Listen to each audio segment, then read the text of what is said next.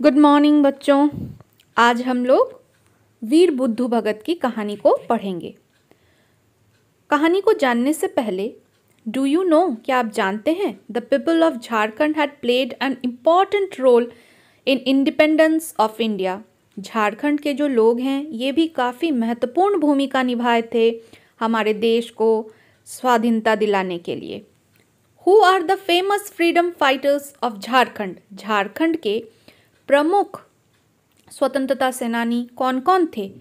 आपके किताब में आप देख सकते हैं, कुछ पिक्चर्स भी दी हुई हैं, जिनमें बिरसा मुंडा, सिद्धू मुर्मू, कान्हू मुर्मू और साथ में वीर बुद्धू भगत की तस्वीर है। ये सभी हमारे झारखंड के प्रमुख फ्रीडम फाइटर्स रहे हैं।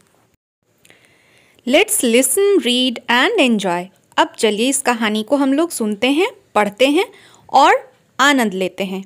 On 17th February 1792, a child was born in a poor family at Siligaon village of Jharkhand.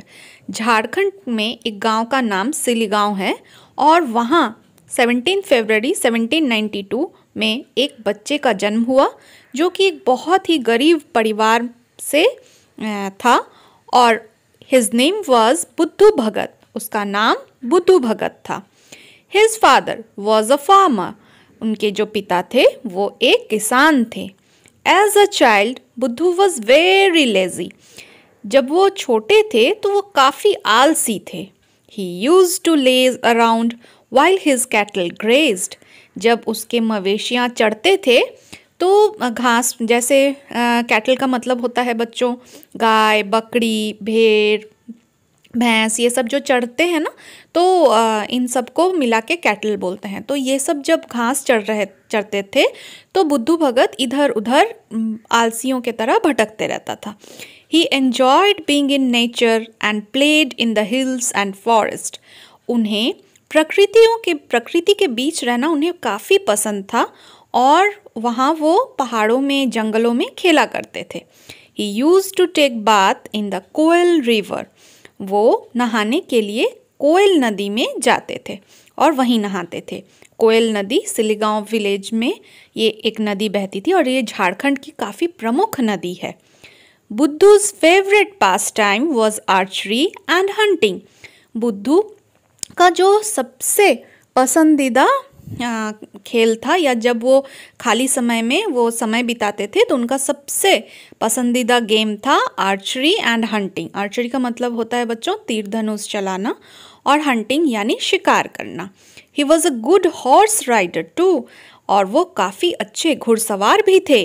When he grew up he was against all sorts of injustice जब वे बड़े हुए तो वो हर तरह के अन्याय के विरोधी बन गए। और कोई भी अन्याय होता था तो उसका वो विरोध करते थे।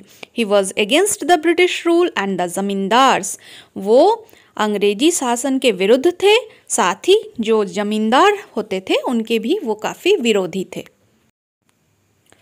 People say that one day while taking bath he felt a strange power within लोग कहते हैं कि एक दिन जब बुद्धू भगत नहा रहे थे तो अचानक ही उनको अपने अंदर एक अद्भुत शक्ति का एहसास हुआ।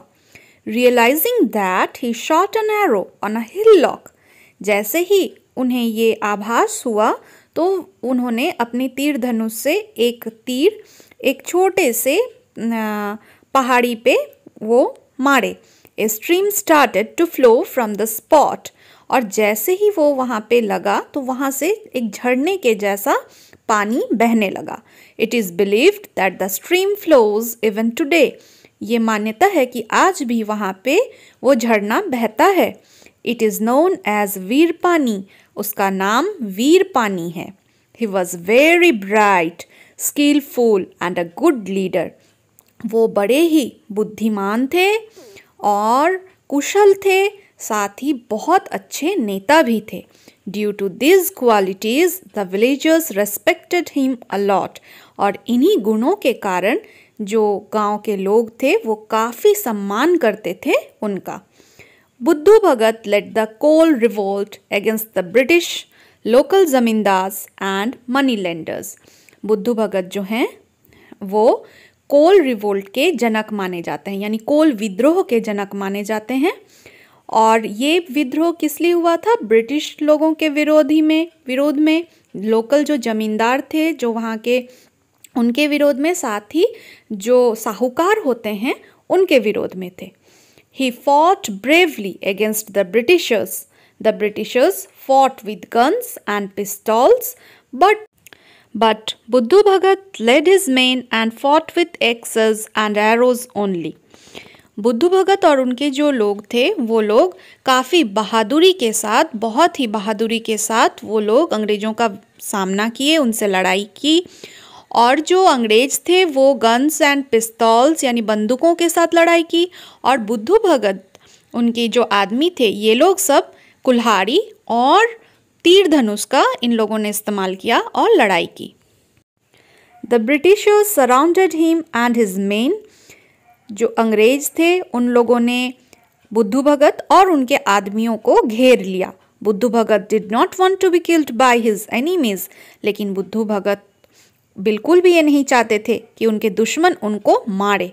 So he sacrificed his life by beheading himself on fourteen February 1832 इसीलिए उन्होंने अपना बलिदान कर दिया, उन्होंने अपनी गले को काटा और अपने मातृभूमि के लिए अपने प्राणों को न्यौछावर कर दिया।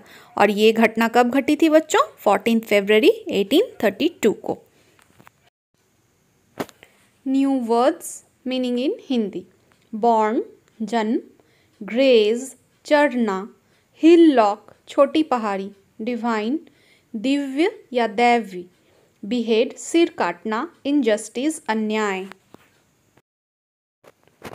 वेन वॉज़ बुद्धू भगत बॉर्न बुद्धू भगत का जन्म कब हुआ था? He was born on seventeen February 1792 उनका जन्म सेवनटीन फेबररी 1792 को हुआ था। What did he do as a child वो बचपन में क्या क्या करते थे?